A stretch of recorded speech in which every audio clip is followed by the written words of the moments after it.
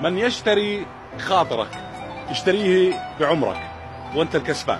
هي أشياء تعطى ولا تطلب عفوية الحديث اهتمام الأحبة التواصل ووفاء الأصدقاء.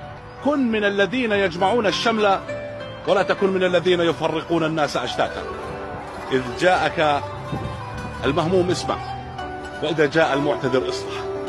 وإذا ناداك صاحبك لحاجة انفع. تعلموا العطاء في ظروفكم الخانقة.